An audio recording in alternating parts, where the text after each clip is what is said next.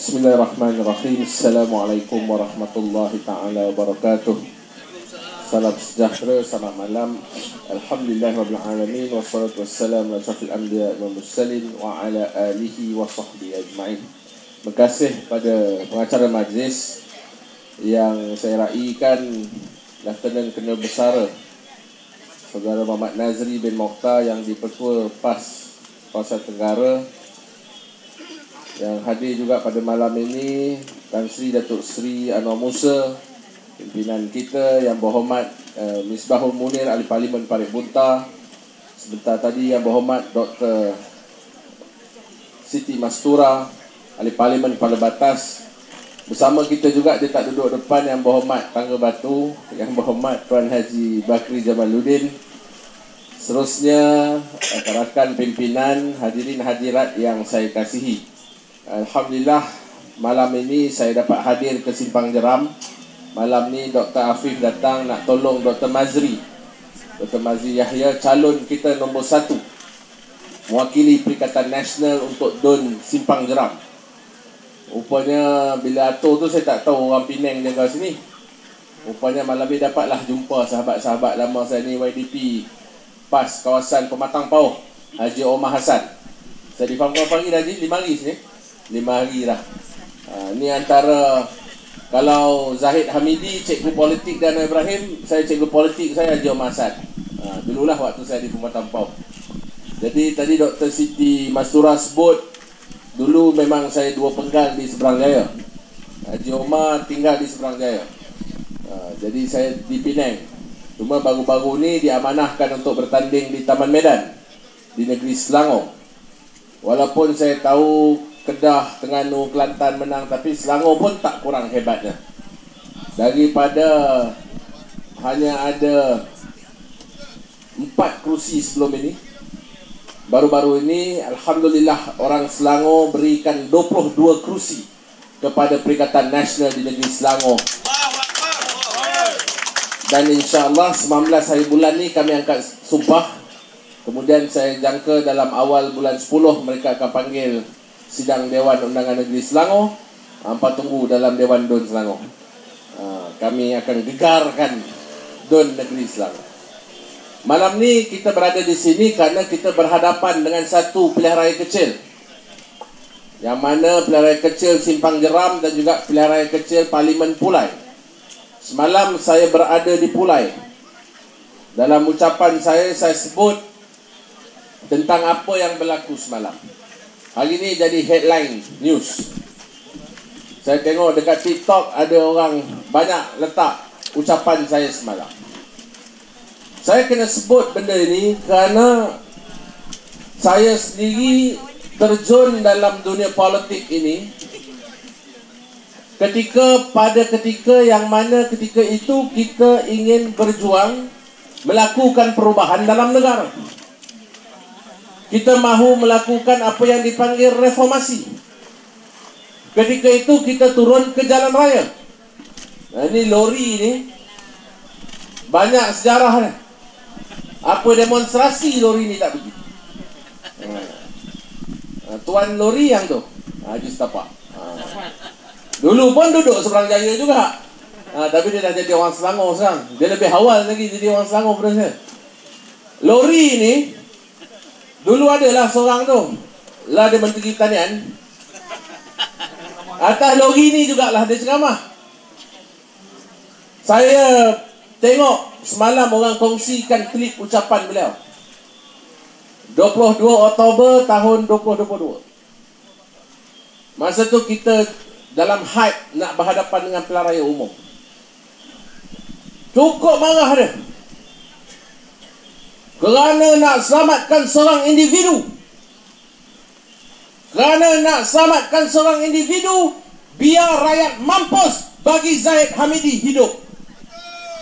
Saya ulang.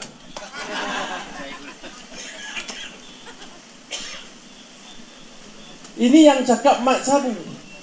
Bukan saya cakap saya ulang apa dia cakap saja. Setakat hari ini setakat malam ini daripada semalam sampai sekarang adalah satu kenyataan dikeluarkan oleh Parti Amanah Negara. Keluar kenyataan kita tuntut supaya peguam negara menjelaskan apa yang sedang berlaku dengan kes Zahid Amidi. Apa bodoh dia orang. Apa duduk dalam kerajaan? Duduk dalam kerajaan. Menteri kabinet. Perdana Menteri ada, Menteri Kabinet ada. Atau susah sangat, tanya je lah, singgung sebelah sebab dia timbalan Perdana Menteri. Tanya, macam mana boleh lepas? Kerajaan kita, kita suka nak buat. Ah, nampak? Saya bukan apa tuan-tuan. Ada kumpulan, ada pimpinan, mereka cuba nak menggambarkan seolah-olah Oh kalau Tan Sri Muhyiddin boleh lepas Maka yang ni pun tak ada masalah untuk dilepaskan Kerana ini keputusan mahkamah. Ini jangan nak tipu rakyat. Kes Tan Sri Muhyiddin Dan kes Datuk Zahid Amidi Adalah dua kes yang berbeza.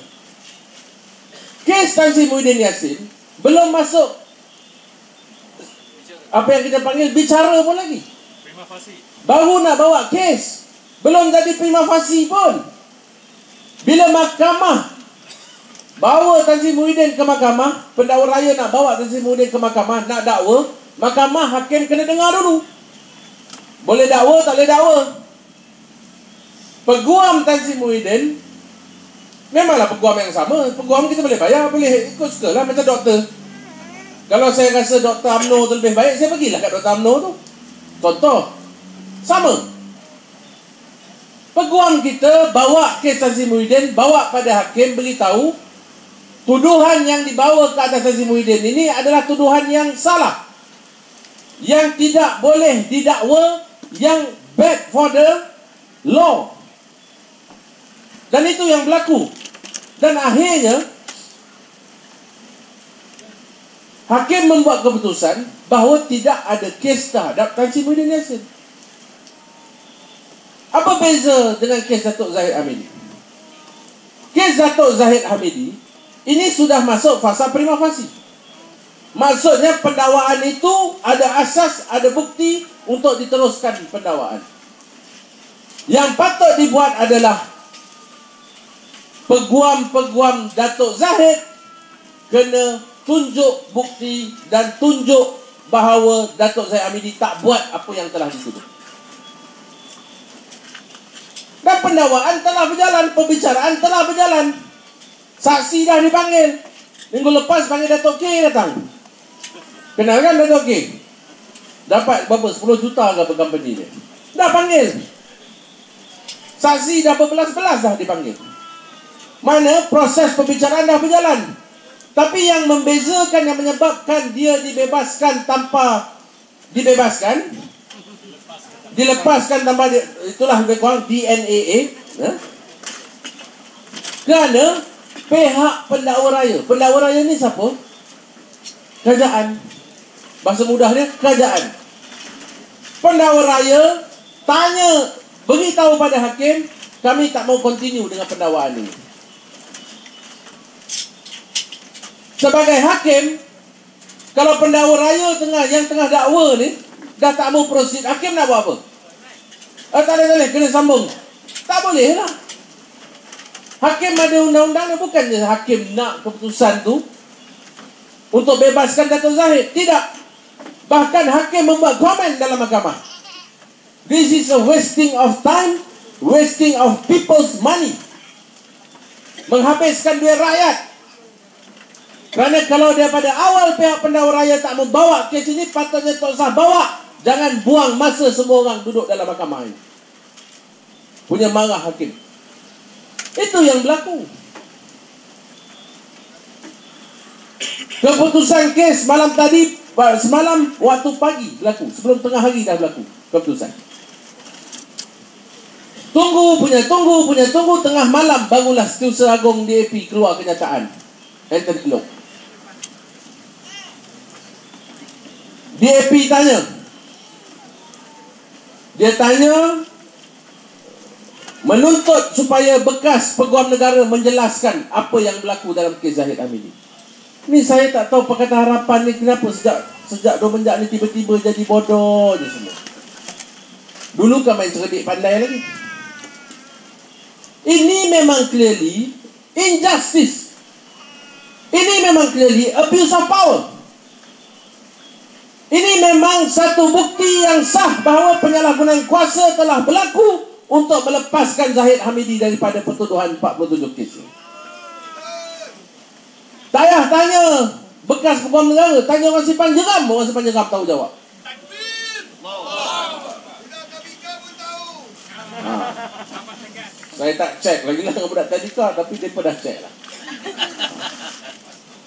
Mereka pun tahu. Dan ini satu masalah. Kerana di mana kredibiliti kerajaan pada hari ini? Di mana kredibiliti pegawai-pegawai SPRM yang buat siasatan sebelum ini? Di mana kredibiliti pejabat peguam negara yang sebelum ini telah bawa kes ini sampai ke mahkamah? Mana? Di mana kita nak letak maruah negara pada hari ini? Dulu ada pimpinan DAP berceramah kita nak menang Putrajaya sebab kita nak hantar Zaid Hamidi ke penjara. Saya nak buat suara kecil macam dia tak reti. Hari ni mana dia? Senyap. Ini Dr. Masurah nanti boleh tanya ahli parlimen bentung. Mana dia? Nah, saya nak sebut nama-nama ni. Sebab sebelum ni bukan main lantang lagi. Saya at least, Haji Omar boleh sahkan. Dari dulu sampai sekarang, saya lantang lawan pok-pok ni. Tak kira lah parti mana pun. Aku geram tu sebab pun tiga tahun panggil kami pengkhianat. Ha. Hari ini saya, bila saya tengok semalam, saya rasa bersyukur pada Allah SWT. Kerana memberikan saya hikmah dan juga ilham untuk memilih jalan politik yang betul. Saya tak pernah malu tak pernah rasa segan Bila orang panggil saya pengkhianat Tiga tahun lepas Ketika saya pilih Untuk tidak bersama dengan Anwar Ibrahim Kerana saya tahu My inner conscience is telling me This is not the right person to lead Malaysia to become Prime Minister. Saya bukan baru dengan Datuk Sianwar. Haji Omar tahu. Saya masuk tanding di Seberang Jaya tahun 2013. Menang jadi adun. Itulah kali pertama PKR menang kursi Seberang Jaya. Tak pernah menang sebelum itu. 2013 saya menang jadi adun jadi esko 2018 menang sekali lagi tahun 2020 saya kena pecat dicemuh ditomah hari-hari. Tapi saya tekad. Saya yakin pada ketika itu Kalau saya nak bangsa saya selamat Kalau saya nak negara ini selamat Saya kena berada bersama dengan kelompok yang dipanggil Perikatan Nasional pada ketika itu. Alhamdulillah Selepas tiga tahun Kita nampak hasilnya. Dan saya bersyukur Cuba tuan-tuan bayang kalau saya masih lagi berada dalam parti lama saya hari ini. Tak kemampus aku nak kena pertahan Zahid Hamidi. Tak pasal-pasal kena panggil dengan Khairi Jamaluddin Anjing suruhan. Running dog. Hari ini macam mana mereka nak pertahankan? Apa yang berlaku semalam? Ada kenyataan daripada Perdana Menteri? Tak ada. Zero Yang ada kenyataan daripada Pudin Pokal ni yang dah kalah dah pun. Orang kulim tolak dah. Orang kulim bandar baru tolak dah. Yang suka dia ni Ibrahim seorang. Ni ada polis ni pihak kat menteri apa? Dia tu kalah. Dia senator. Bukan ahli parlimen ni. Ramai yang ahli parlimen depan dia boleh jadi menteri. Baru jadi menteri senator. Belagak macam dia menteri penuh. Ada mic boleh. Jadi saya sebut ni sebab apa? Sebab di simpang jeram ni penting. Pilihan raya kecil simpang jeram ni cukup penting. Karena kita ingatkan Perdana Menteri ini dia dah dengar suara rakyat pada PRN yang lepas. PRN lepas kita hantar clear signal. Orang Melayu daripada 49% yang mengundi Perikatan Nasional naik sampai 75% mengundi Perikatan Nasional. Orang India mencatatkan peningkatan jumlah pengundi Perikatan Nasional. Sebab tu saya boleh menang di Taman Medan. Ha, Taman Medan saya menang tak banyak, 30. Ustaz Mutalib kita telefon saya. Dia tanya menang berapa? Saya kata 30. 30 ribu? Tak, 30. Tak apalah. Janji menang. Sekarang dia nak petition. Tak apa. Biarlah. Buatlah apa dia pun nak buat. Kenapa saya nak sebut penting pilihan raya Simpang Jeram ni? Bukan setakat kita nak hantar Dr. Mazri ke sidang DUN. Pertama kita nak hantar mesej kepada Anwar Ibrahim. Bahawa rakyat di Johor juga tidak setuju dengan apa yang berlaku di Putrajaya pada hari ini. Keduanya, bila mereka bentuk kerajaan perpaduan, baik di Kuala Lumpur dan juga di Johor Bahru, mereka sekarang punya 53 orang ahli dewan. Pembangkang ada 3 orang. Bukit Kepung, Maharani dan juga Andau. Apalah salah kiranya? Kita tambah jadi 4 orang. Dengan memilih Dr. Mazri daripada Simpang Jeram menjadi calon dan juga wakil kita dalam Dewan Undangan Negeri Johor. Boleh atau tidak? Boleh. Sebab benda ni tak mustahil tuan-tuan. Sebab saya nak beritahu kenapa kita kena tolak Anwar Ibrahim ni. So kita ada kat Simpang Jeram ni, saya nak beritahu senang saja. Nanti ada yang kata tak apalah kita bagilah dia peluang. Sebab ada orang kata kena beri masa pada Anwar Ibrahim ni. Ke, ha. Nak beri masa apa lagi pada Anwar Ibrahim ni? Kita beri masa pada dia, dia bebaskan Zahid Hamidi. Dia beri masa pada Anwar Ibrahim ni tak lama lagi bebas pula yang dalam kajang tu. Makin banyak kerosakan yang berlaku dalam negara, makin banyak masalah yang berlaku dalam negara, wajar ke tidak kita nak bagi lagi masa pada pemimpin yang macam ini? Justified atau tidak untuk kita bagi masa lagi pada pemimpin yang macam ini? So pada saya, dia tidak mentadbir. Perdana Menteri apa kalau dah hadir program sampai lima program sehari? Bila yang dia duduk jabat?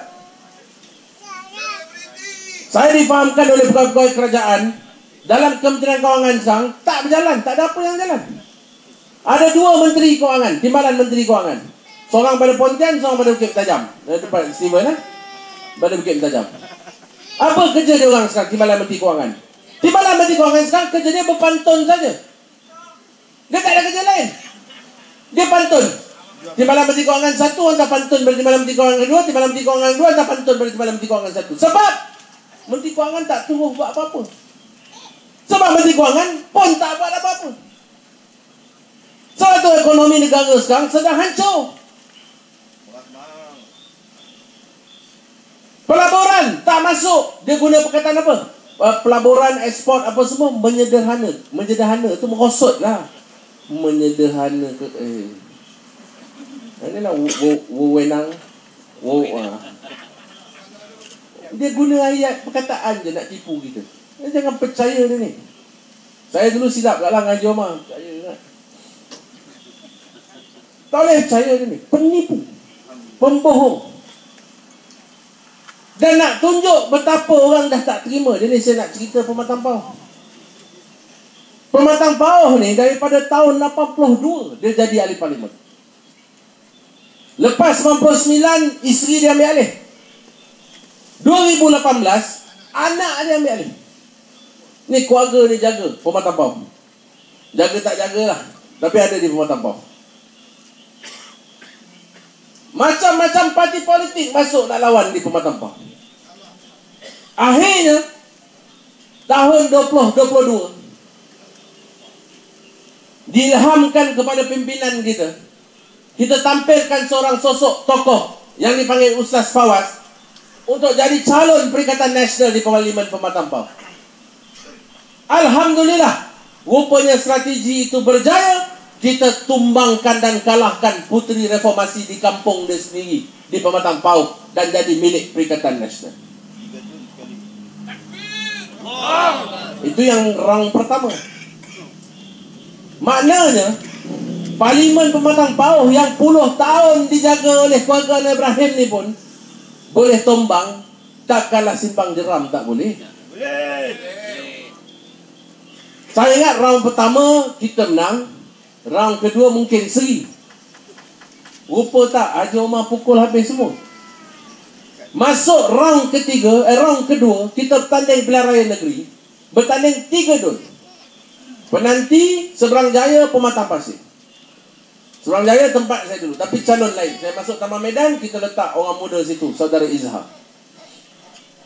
Saudara Amir di Pematang Pasir Penanti Tuan uh, Saudara Zulkifli Bakar Kali ini kita masuk Pilihan Raya Negeri di Pulau Pinang. Ketiga-tiga don bawah Parlimen Pematang Pau Dimenangi oleh Perikatan Nasional. Kalau dulu Ustaz Fawaz menang 6,000 majoriti Kali ini kalau campur tiga-tiga don Perikatan Nasional menang 12,000 di Parlimen Pematang Pauh di bawah tiga-tiga don Maksudnya apa? Orang Pematang Pauh pun dah tak percaya dengan Anwar Ibrahim. Orang Pematang Pauh pun dah tolak Anwar Ibrahim. Yang kita kat Simpang Jeram nak terima ke Anwar Ibrahim?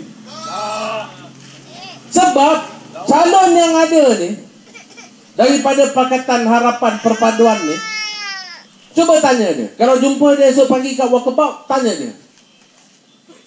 Tuan Tuan setuju ke Datuk Seri Zaid Hamidi dibebaskan ni saya nak tanya ni boleh hantar video ni malam ni kat dia saya nak dia jawab kalau Allah Yarham Datuk Seri Salahuddin Ayub masih hidup Adakah Datuk Seri Salahuddin Ayub akan setuju dengan apa yang berlaku di Putrajaya pada hari ini? Adakah dia setuju Datuk Seri Zahid Hamidi dibebaskan? Calon Pakatan Harapan yang ada hari ini setuju atau tidak Datuk Seri Zahid Hamidi dibebaskan? Eh, kita pula kena jawab. Belum tentu lagi tu. Pergi tanya dulu. Sebab persoalan ini juga saya bangkitkan semalam. Saya tanya semalam di Pulai.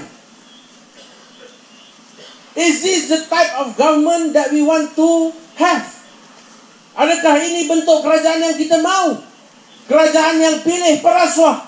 Kerajaan yang benarkan penyamun dan penyangak berleluasa. Kerajaan yang kononnya nak lawan rasuah tapi angkat perasuah ditampuk kuasa. Dan saya nak beritahu pengundi-pengundi.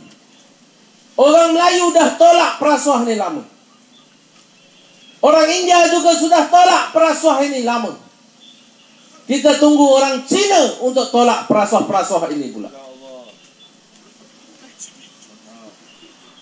Sebab kalau kita tengok keputusan pilihan raya yang lepas.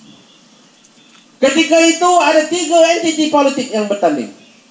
Ada Perikatan Nasional, ada Barisan Nasional, ada Pakatan Harapan. Ketika itu keputusan yang mendapat keputusan baik dua pakatan politik. Perikatan Nasional dan juga Pakatan Harapan. Barisan Nasional mengudung tinggal 30 kursi. Kenapa Barisan Nasional gagal dalam pilihan raya umum yang lepas? Kerana mereka masih lagi dilihat sebagai kelompok politik yang mahu mengekalkan status quo masih mempertahankan perasuah, masih mempertahankan penyamun, masih mempertahankan politik of the old. Politik lama yang dipimpin oleh perasuah. Sebab itu rakyat tolak. Cuma bezanya rakyat orang Melayu ketika itu majoritinya memilih Perikatan Nasional, orang bukan Melayu majoritinya memilih Pakatan Harapan. Kenapa orang Melayu pilih Perikatan Nasional? Sebab orang Melayu percaya inilah pakatan politik yang benar-benar berintegriti dan mengangkat kepimpinan yang bersih. Orang bukan Melayu ketika itu percaya kononnya Pakatan Harapan adalah entiti politik yang bersih, yang angkat politik ada integriti. Tapi rupanya orang bukan Melayu kena tipu dengan Pakatan Harapan hari ini. Orang Melayu lama dah tahu PH ni menipu.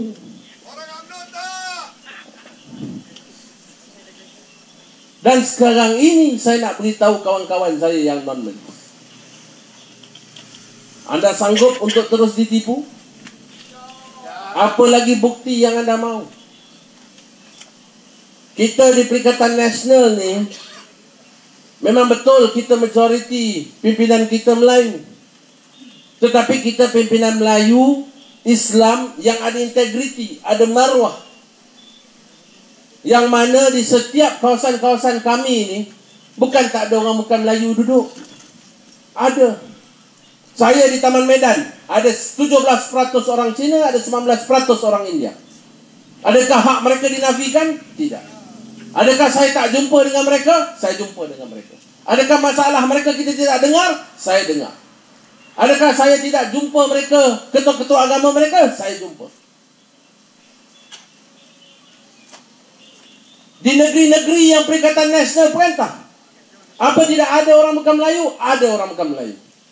Baru ni saya tengok Datuk Seri Samsuri, Menteri Besar Tengganu buat perjumpaan dengan Dewan Perhimpunan Cina Negeri Tengganu di Kuala Tengganu. Tak ada masalah. Karena bila kami diangkat sebagai pemimpin, kami dipilih sebagai wakil rakyat, kami akan menjadi wakil kepada semua, tak kira Melayu, Cina atau India.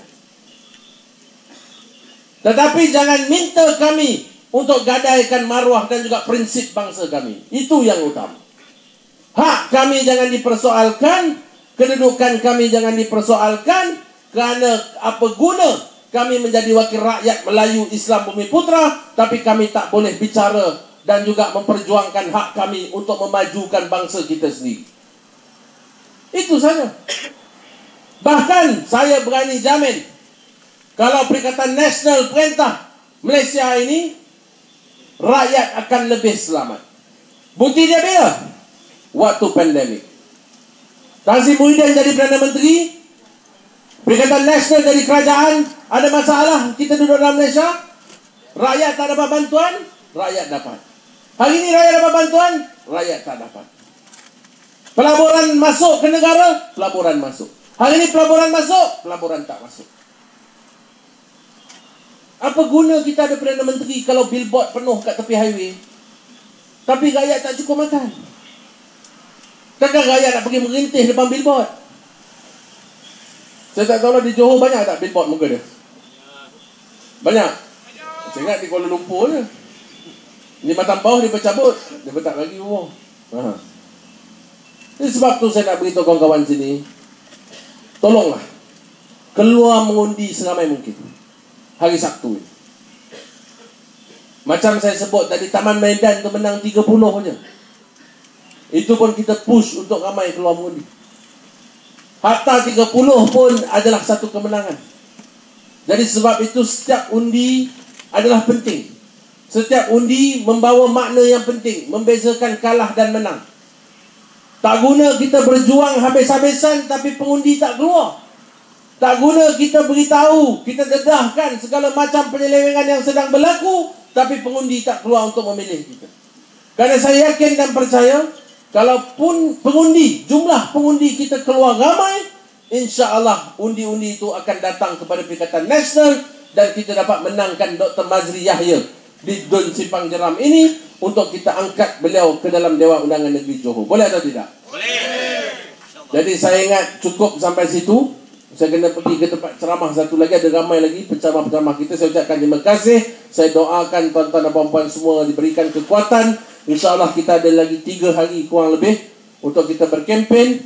Kempen kuat-kuat, kerja kuat-kuat, tarik seramai mungkin pengundi untuk keluar pada hari Sabtu ini. InsyaAllah kita tabalkan kemenangan Dr. Mazri Yahya pada hari Sabtu ini bagi mewakili Don Simpang Jeram dan kita doakan juga sahabat kita saudara Zulkifli Jaafar menang di Parlimen Pulai untuk kita hantar beliau ke Parlimen Dewan Rakyat untuk kita berhadapan dengan kerajaan Madanon yang semakin gila pada hari ini. Sekian. Wabillahi taufiq wa hidayah. Wassalamualaikum warahmatullahi taala wabarakatuh.